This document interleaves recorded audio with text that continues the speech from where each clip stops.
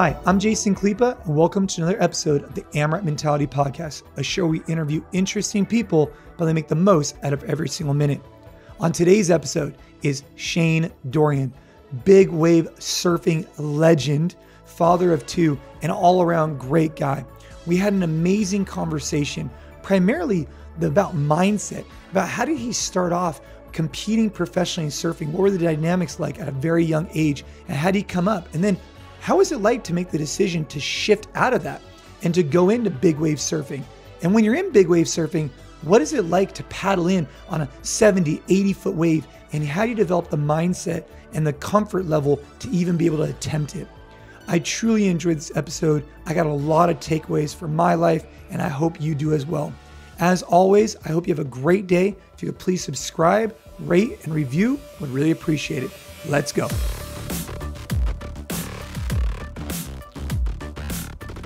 Okay, so Shane, here we are at uh, what Pipe Masters 2018. We're at the Billabong House. Yep, that's right. Um, thanks for taking the time today. I really, really appreciate it. I think um, our audience is going to get a lot from you. When I think about a guy who embraces the AMRAP mentality, like this idea of like being present and focused on a workout or being present and focused on whatever they're doing, I think about you and I'm like, I can't think of too many people who could be more present, more focused than a guy who drops in on a you know 80 foot wave you know, what does it take from a mindset perspective to do that?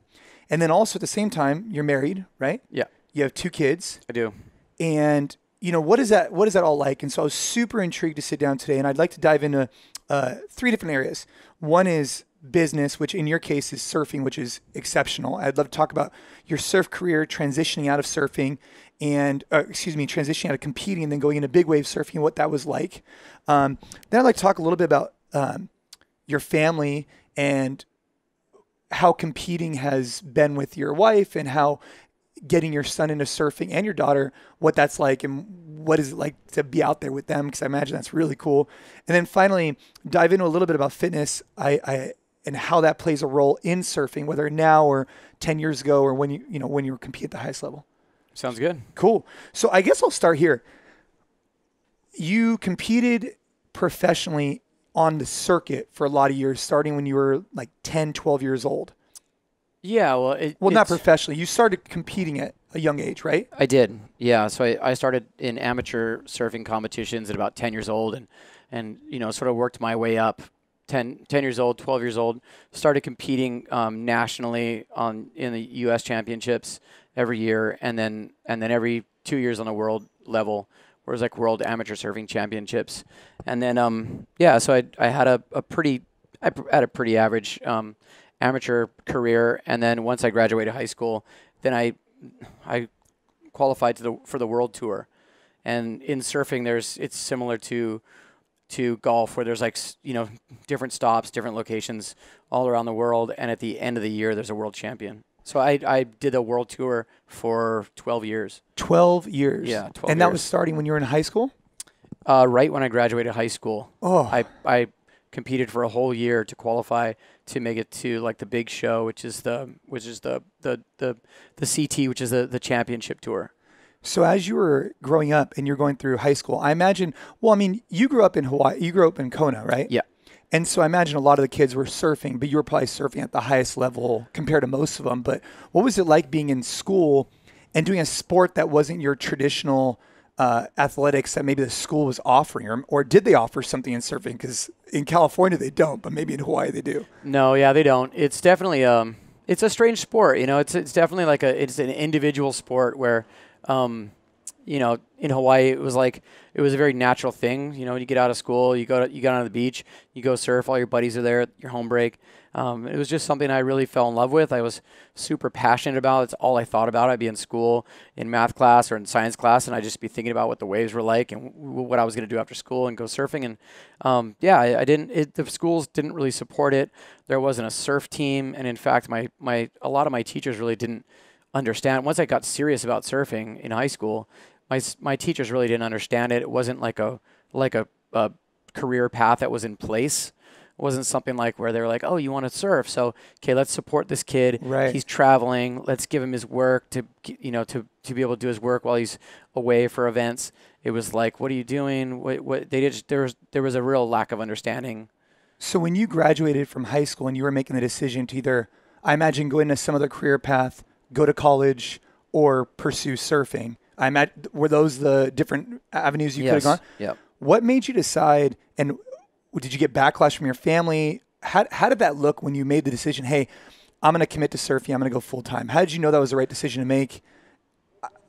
And and what did the family think of that? I mean, because that's not a typical Yeah. thing, right?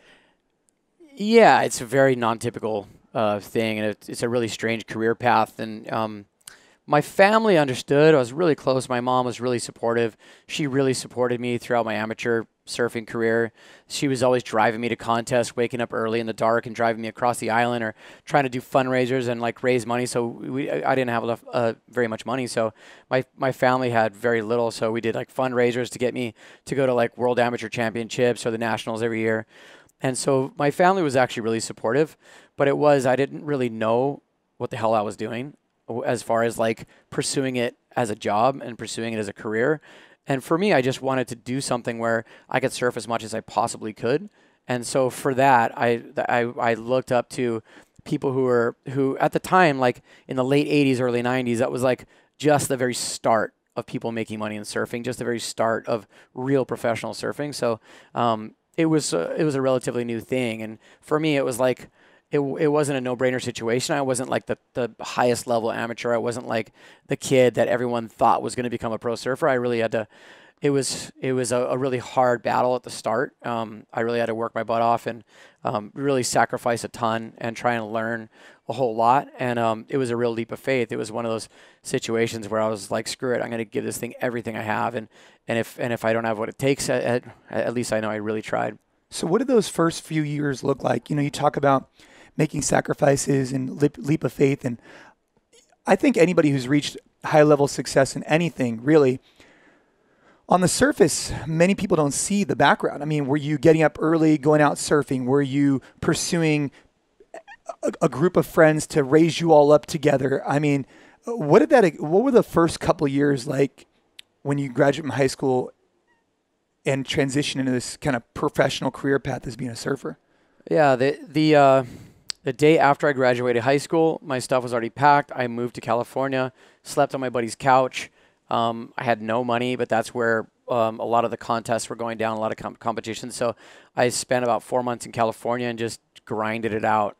Just just went from competition to competition to competition and learned as much as I possibly could. And then um, soon after that, I got a couple sponsors and started very very slow um, where I wasn't making hardly any money, just enough to barely survive. And then it just started like um, I started gaining speed, and but it, you know I definitely wasn't an overnight success. It was a situation where I had to really bust my butt and and um, um, just kind of slowly work my way up. And so, as you're working your way up, what were the kind of the highlights of your professional surfing career on this on on that realm? And then we, we could talk about the the big wave surfing. But if you segmented them out, if you were to talk about your career path or your surfing from being in all these different competitions, you're busting your butt, you're getting sponsors, you're putting in the work. What were some highlights in your competitive career there? Well, yeah, first of all, I barely qualified.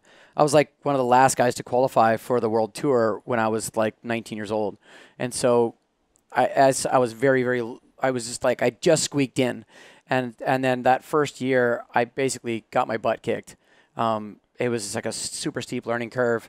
I didn't do very good in competitions, and and so it was very, very slow. It was very humbling, and I really had to go back to square one and just bust my butt and get back on the tour again, which I did that same year. But um, it was a slow progression and a slow ascension, and but like a few years later, I started doing really good, and I got from like I was like in the in the 30s, then I got in the in the 20s in the ratings, Yeah. and then I broke into the top 10, and then next thing I know, I was a world title contender. So for a bunch of years, I was finishing in the in the top 10 and the top five. So um, there was a bunch of years where I was going for the world title, even in the final event. So I, I was I I slowly but surely became like a super high level competitive surfer. So in the beginning, you barely made uh, the tour or the circuit. Yes. Was there a year you didn't make it? No. So once you made it, you made it every year. Yes. And so something I was talking about with Josh Bridges the other day is that nothing just because you got it once doesn't mean you're guaranteed it again, right? You got to keep continuously putting in the work. Just because you qualified in 2000 and you know one doesn't mean you're going to be guaranteed 2002. Is that the same way in surfing where every year you got to earn your stripes, every year you got to be put in the work to stay at the highest level so you can get access to this tour? For sure, it's so easy to get kicked out. It's so easy to not qualify. Um, it's very difficult to stay at that high level for, you know, any length of time, and um, you know you're only as good as your as your last result, really. And then the then the final ratings at the end of the year. If you're one spot out, you're out for the whole year. Wow. You have to put in a whole wow. another year's work just to qualify for the following year. So, so what's that stress like? It's very cutthroat. Yeah, I mean, you're coming out of high school. You're a pretty young guy. You're getting into the, you know, and, and there's sponsorship and money on the line. I mean, what is that like? I mean, uh, what's the vibe like when you're out on a, on a set and you're about to, you know, you're competing against your buddies? What what does that look like? Um, sorry, sorry, my son is talking to oh. me right in the background. What's He's that? asking me a question. Um, yes, you can go with him. Thank you. All right. Hi. sorry about that. No, no problem. So, what is it like? So, you graduate from high school and you have this kind of this stress of competing. Like you said, you could be one one point off from not even qualifying for the whole competition yeah. for the next year, and then you're out, right? Yeah. So, what are the vibes like when you're out in the water in these heats? And then, how did you overcome that stress? How did you learn to overcome that? Because you were young when you got into the sport, just like your son, actually, young yeah. getting into sport. How did you learn the mindset to overcome and push through to? Because I imagine it was very stressful. Yeah, I, I, think a lot of it just came to like sheer sheer desire to succeed. I didn't have a backup plan. I didn't have um, my I didn't have parents that were like, well, if you don't do it, we'll just send you through college. I, had no nothing like that. So it was like I was either going to make it as a pro surfer or I was going to have to work my way through college being like a waiter or something. Literally, I didn't know skills and not like high level education. So it was like for me, I was like I wanted it so bad I wanted to surf for a living so bad that I just I lived and breathed it every single waking moment. I was surfing.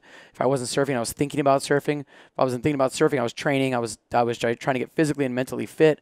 And so, it, like the mindset, my the, the mindset in my competitions, it was like extreme focus. I wanted to tear the other person's head off. Right. And and that's the only way I was able to succeed. So then, with that mindset, you're out there, and the way surfing works. I mean, you obviously know more than me, but I imagine you're in you're in like a small group, right? And then you kind of take turns, et cetera, on on on waves. But you're kind of out there close to each other, right? And yeah. so I imagine there could be some crap talking back and forth. And what is the atmosphere like in professional surfing out on the water? Because that's something that most people have no idea about, including myself. Yeah, it's funny because you think of surfers as being like these kind of like because surfing really isn't. I don't think of it as a sport at all but there is a sport side of it. And when you're competing, obviously you're you're right in the heart of the sport of it. But you know, surfers are known as like these guys who like ditch work to go surf, or after school you go surfing, and you wake up early to get out there with your board and hang out with your buddies, and it's a way more of like a lifestyle right. type of like relaxed environment, and everyone's like so like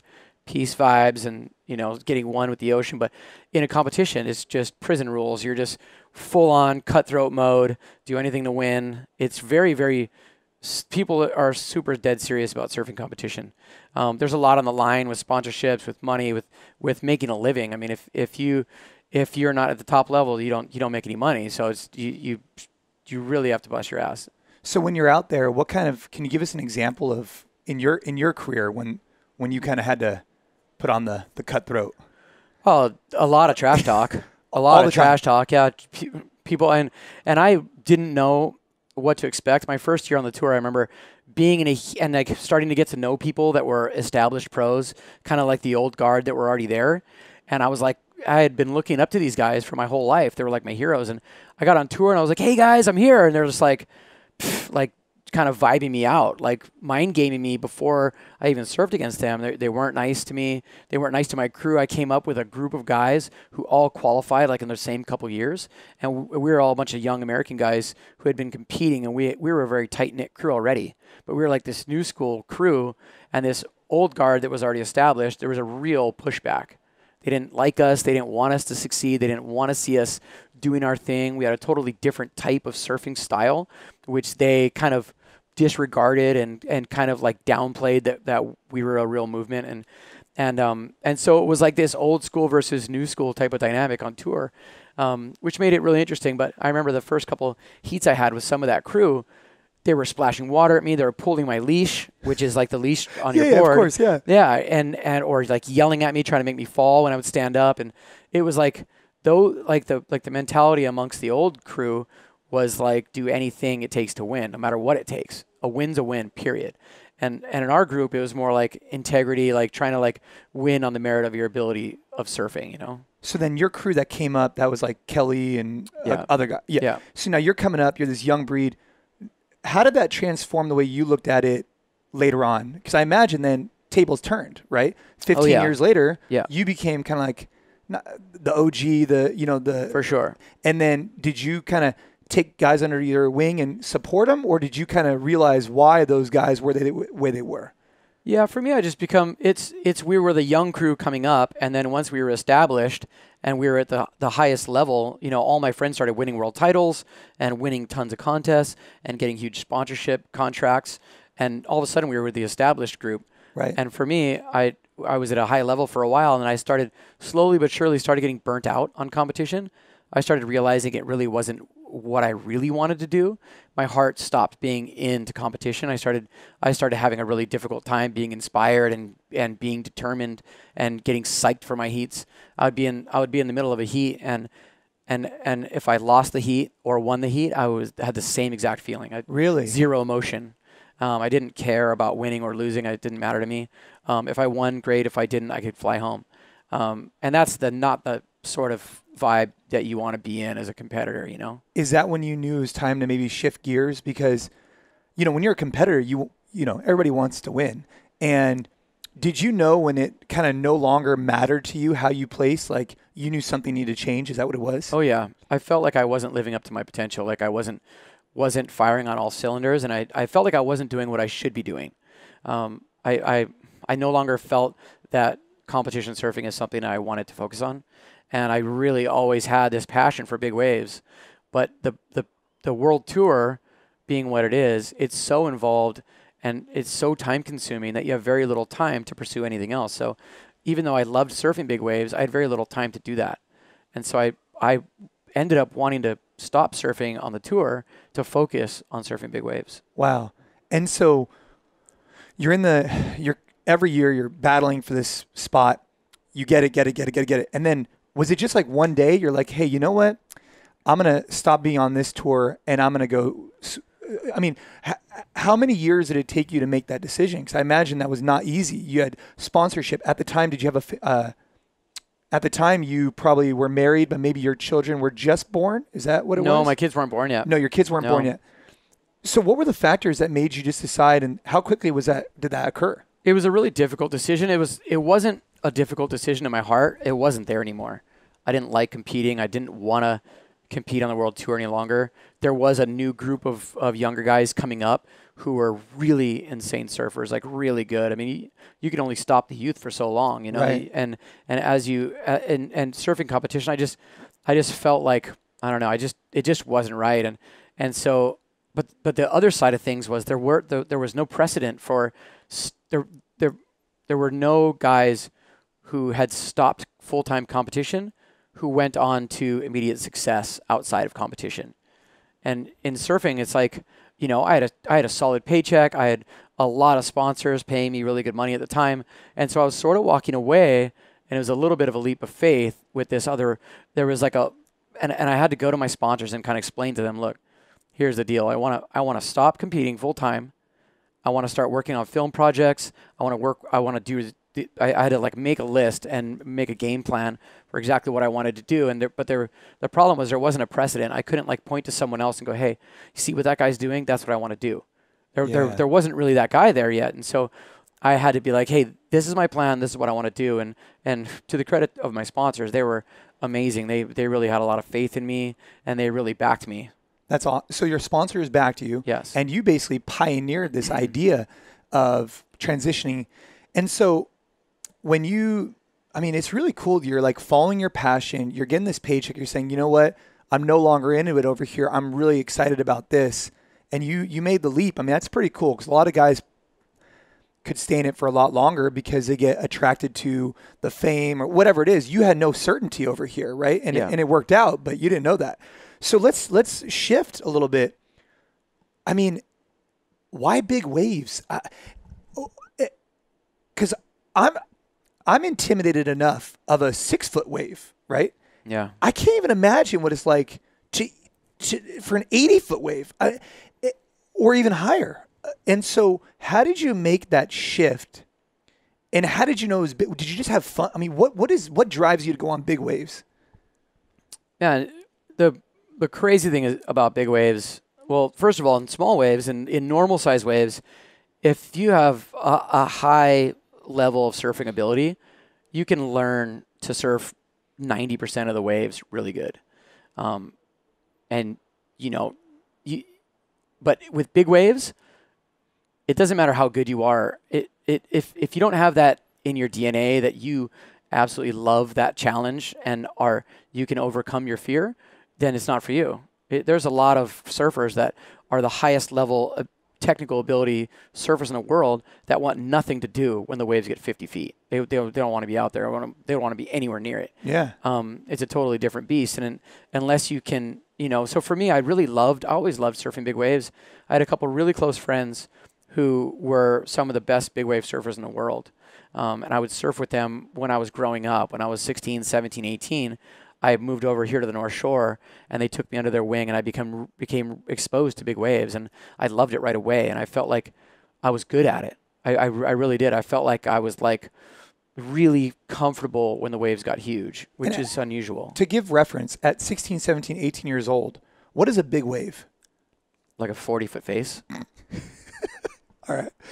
40 foot face. Like, relatively speaking, uh, like, so, like uh, pretty much as big as the waves ever get at that time, I was already when I was 17 years old, I was surfing really huge waves. So when you were 17, you're you're hitting up these 40 foot waves, and you're out there and you're waiting because so I've I've paddled out before and I've been on like five foot waves, but when you watch it kind of crest over from the opposite side, right when you're when you're in the ocean, yeah, I mean it just looks so big for five six footer. I can only imagine what it looks like when you're on the op when you're out in the ocean, you're watching these 40 foot waves kind of be created and then come over and go. What does it feel like to be sitting out there and to know you're about to go drop in on one of these guys or paddle in, I should say? like, well, it it sort of depends, you know, where your mind's at. The the emotions you go through are like, if you're if you're ready for it and you are excited about it and you love it and you're embracing it, then the emotions are like just pure excitement and anticipation and you're excited about the challenge. If you're not in the right mindset, it's just pure sheer terror and and you feel like you're going to die. You you you know, it's it's it's terrifying. It really is. Like um, if you're not on your game, it's it's just you just don't want anything to do with it. And so that's the that's the cool thing about big waves is like yeah. to to to try to get into that mindset where you're excited turn around when that giant wave is coming to turn around, put your head down and stroke into that wave and it's giant. Everything everything in your body and mind is telling you to get the hell out of there and get nowhere near that. And to be able to overcome that and really commit is um, that's what's exciting. That's what's a lot of fun and um, and that's the thing that kept me coming back for big waves. So you were 16, 17, 18, then you kind of fell off that because you had to you yeah. know, stay focused on. Then when you came back to it, so is the reason why you love big waves is it because it's this idea. So, for example, um, uh, like ice baths, right? They they're uncomfortable, but they they make you push mentally and physically to kind of get in there and get back out. As an example, is there something about you know paddling in on one of these waves that you embrace the fact that you are confronting discomfort and you're overcoming it? Is that is that part of it? And then when you're when you're doing it, what are you telling yourself? As you're kind of going out to these waves, right? You're hitting a channel maybe and you're coming around. What's what's your pregame focus? What are you what are you telling yourself? I, you know, I don't really know. Um, for for me, my my pregame focus is really just like relying on my experience and um, every single wave I've caught up into this point, every single session I've surfed up into this point, every year I've been surfing up to this point, they all kind of come into this. That's that's my structure. That's my base. That's my that's that's my platform, and and I feel like I should be able to rely on all that experience to catch that next wave, to make that next decision. To if I get caught inside in the impact zone and a giant wave's coming, I have all that experience to rely on to you know, I could go back to my training, go back to all of my experience to be able to to be able to survive through that th- through that situation. And um, but I think one of the things that really um, affects my mindset in really big waves is I really enjoy the fact that it separates the men from the boys. I love it when the waves are really giant that a lot of people don't want anything to do with it. And then a lot of times when the waves are really giant and if there's 20 people in the lineup and a really giant one comes, there might out of those 20 people there might only be like two or three people who actually want to want that wave. And and so to be one of those two or three people, you just you feel like you're part of this elite club and, and that is really um you know, there's there's very few people that can get in that mindset in those kind of extreme conditions and um, that is really really addicting. Yeah, and it motivates you. I mean, yeah. I, I could tell. I mean, and but you you talked about something, you know, falling back on your previous experiences, and we talk about this idea of kind of like earned confidence through a lot of reps, you know, and you've been surfing for, you know, 30, 40 years mm-hmm. to get to the point where you now feel so comfortable in these waves, or at least more comfortable. Um, how has that process developed over the years? Because did it go from like 40 foot wave to 45 to 50? Or then did you start seeking out big waves and you had to travel? And how did you kind of mentally prepare yourself through training to make those next jumps? And then is a 50 foot wave a big difference compared to a 60 foot? Or is it kind of get to a point where it's, how, how does that work? I, I don't know what that's like. Yeah, that's a those are those are really good questions and hard to answer. I mean, when I when I when I decided to quit the tour and really focus on big waves, I really started getting into my training a lot more. When I was competing full time, I was going to the gym all the time and trying to stay fit and bring. I used to bring water weights on the on the on the road with me. Have you ever seen those? Yeah, yeah, of course. They're like things you, yeah, you fill up with fill water, water, like yeah, little, dumbbells. little dumbbells. Yeah, and I would run and I would do my workouts and stuff, and I was getting really into it. And but and I was that was just like to maintain fitness while I was competing, to get in the right mindset to compete, to to feel like I had put in the work. But once I started really pursuing really big giant waves, it's a really it really was a matter of survival. It's life and death. Every single big session, you're putting your life on the line, pure and simple. So I felt like I needed to up my game and really start working out really hard, and and um and that's what enabled me to have the right mindset when the waves are giant. To feel like I put in the work, that I was physically fit. That got me mentally ready. So that's when I found CrossFit. That's when I really started focusing on on being at the at top physical condition because that's that really put me in the right mindset. When the waves got really giant, I felt like if I was really physically fit, that I was going to survive.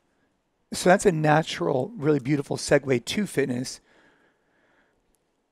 You know, we like to think that for most people listening, fitness shouldn't inhibit like their daily lives, right? They shouldn't have to worry about getting up out of the chair, picking up their kids. But fitness for you is a huge component of staying safe. And yeah. you say on the road you're using these weights, but how about when the wave how have you developed your skill set from a mental fitness? What I mean by that is when the wave takes you down, and I imagine you're 10, 15, 20 feet underwater yeah. and you're getting tumbled, how do you stay calm? Because I know that helps with obviously your breath use, yeah. right? What what's what are some skills you've developed in that sense, or is it just through repetition? It's through putting yourself in really uncomfortable situations, um, and w- whether that be in actual situations in the water, but I've done a lot of um like like wipeout simulation training. So like I'll go to a pool with someone who's like a breath specialist, breath holding specialist, and we'll do like um like for example, just just the other day, me and Kelly Slater, we did like this this training in a pool who's with this guy Mark Visser, who's really really good. He's he's an Australian guy, but he he works with Navy SEALs in, in Virginia and and and takes them through all these breath holding scenarios. But we, we were doing a lot of different things, but we would do this thing where we go underwater, hold our breath for 20 seconds, and then swim underwater across the length of the pool with as few strokes as possible. Right. To try and just stay calm. And then we got to the other side and we had to stay underwater for like the first set was like 20 seconds. The second set was like 30 seconds. And we worked our way all the way up to a minute. So you go underwater for like 20 seconds, go across the whole length of a, a, a long pool. Right as slow as you possibly can. And then at, at the other side, you had to sit there for a minute underwater. And it's very uncomfortable to do that. You're, you're starting to have the contractions, you know, even halfway across the pool, sometimes you're having the contractions and then knowing that you have to stay underwater for a minute once you get to the other side of the pool. So just putting yourself through that situation. And we're doing simulation scenarios where we'd get to the end of the pool and then you had to come up take one breath real quick then go out and in, and then Kelly would grab me, flip me underwater, and and basically simulate a heavy wipeout, getting thrown around underwater, and then you he would make me come up, breathe as quick as I could, out in, back down, out in, back down. So underwater for like 20, 30 seconds, out in, back down, 20, 30 seconds, out in, back down, 30, s- and like to the point where after the training session I was nauseous for like three or four hours, um, and but knowing that you're able to hold your breath under that stress over and over and over when the shit hits the fan and you're out at Jaws on Maui or at Mavericks in Half Moon Bay or at Nazare in Portugal in Europe on a big swell and you get taken underwater by that wave, you're not just hoping that you can hold your breath for a long time under stress. know You you know. And when you know, then you don't panic. That's the, the, the problem is the, the, the way that people die underwater is they panic. And when you panic, your heart rate goes up. When your heart rate rate goes up, you use all your breath super fast. It's like putting your foot on the floor on the on the on the gas. It just burns all your gas instantly. Um, so if you can keep your heart rate down by not panicking, if you can stay calm, you can hold your breath for much longer. So if you know, hey, look, it, under under stress, under with a high heart rate, I can hold my breath for a minute and 45 seconds. Um, then I know that I can I can survive pretty much any wipeout Right. because I can hold my breath for a minute and 45 seconds with a high heart rate. And you can you could wait until the next set or whatever. Yeah. I think that's super fascinating. I think just hearing you say that, I hope people understand like that mindset. Like you're you're doing everything you can outside the water in controlled settings, the things that you control, Yeah. to help you when things that you are outside of your control. And out there, it's life and death situation. And Yeah. now, how well does that simulate? I've never been on an 80 foot wave, 60 foot wave that crushes you, but how well does that? Uh, what does it feel like when you're on like a 50, 40, 30 foot wave, even, and you kind of fall from the top and you just hit the bottom? I mean, is it like hitting? I mean, what does that feel like? And how do you, in the air, what are you telling yourself? What are you preparing yourself for? So that when you do get into the water, you could stay calm to your point and and and go back to your training. Yeah, I mean, it, it does feel like a car crash, and it, it feels like a car crash you know is about to happen, which sucks. With an big time. airbag or no it airbag? sucks. and and I actually just like a couple weeks ago, I was in an event at Jaws, which is a, a really big wave spot on the north side of Maui, and I caught this wave that as soon as I got to my feet, I knew I was gonna fall. It just the wave changed shape, and it just got all this bump and chop and wind coming up the face. I just knew that was an unrideable wave. And so I knew that I was about to hold my breath for a very long time. I knew that I was about to get my butt kicked. I knew it was going to be very, uh, very uncomfortable. So I just went back to the training. As soon as I got to my feet and realized I was going to fall for sure, even though I hadn't f- even fallen yet, I just st- already started doing my breath. I started doing my breath and getting ready and getting my mental mindset to be held underwater for a very long time. And so when it actually happened, I already knew it was going to happen. And so I just I just kept repeating to myself, go back to my training, go back to my training, go back to my training. This is just like a simulation.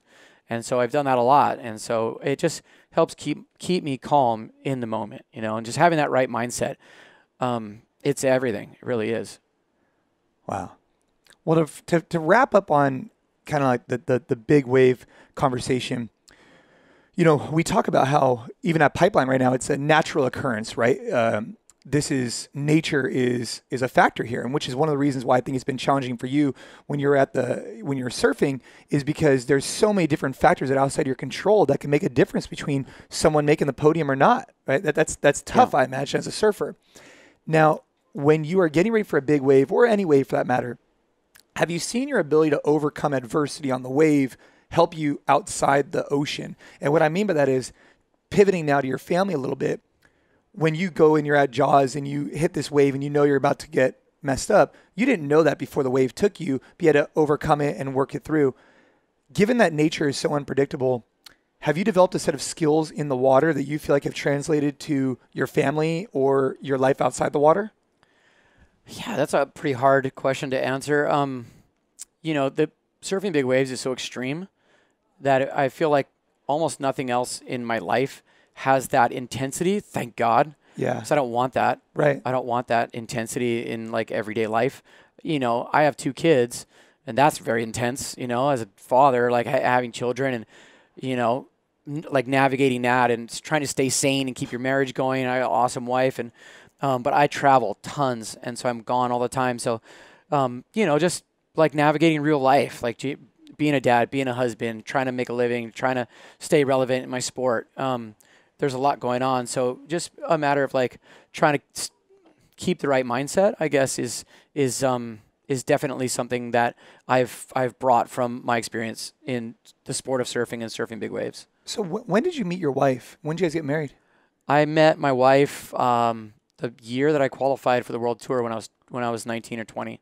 And then you guys have been together ever since. We took three year break in between. We dated for five years, took a three year break, and then we got married, and we've been married ever since. We've been Wow. married for like 18 years. Very cool. And so you have two kids. You have a wife. Wife. You have a. I like to say that you have a. You do have a business. You make. You know. You're you're providing for your family through surfing and and being this ambassador you are, which I think is exceptional. You pioneered this whole new thing where you're not on the tour, but you're still able to make an impact, and that's why sponsors want to be a part of what you're doing. I mean, you're you're announcing for the for this event, right? You're Yeah. broadcasting. That's that's awesome. That you've stayed in the game for this many years and still stayed so relevant is super cool. So how has that been challenging having two kids, trying to maintain a good marriage, and still trying to be relevant in a sport that continues to evolve? How have you tried to balance those different things in your life? Oh, what man. what tactics is there anything is there any like I'm not going to I'm going to use this word. Any hack, any anything that you do to really try and elevate each one of those things? I don't, Yeah, I mean, for sure. I mean, I I, I feel like you just, like 90% of it is just showing up, whether it's in like business or being a dad or, or being a husband or, or, you know, like if, if, if, if you don't, it, so much of it is just effort. Like being a good dad. I, I have a lot of friends who are like, man, I, you know, my wife's pregnant, my first kid, you know, I feel like you're a good dad. What, What's you know, your what, what's your advice? Yeah, advice? yeah. Show up go to the games, be there for the birth, be there as much as you can. Just be there for your kids. It's not that hard. If you're there for your children and they're like physically, mentally, you're going to be a good dad. You know, if you got a job and you're really there, you're present, you're really, really there, you're probably going to do a really great job at work. Wouldn't you say so? Uh, absolutely. And I, I feel like that's just my mindset is just like really showing up and, and really being present.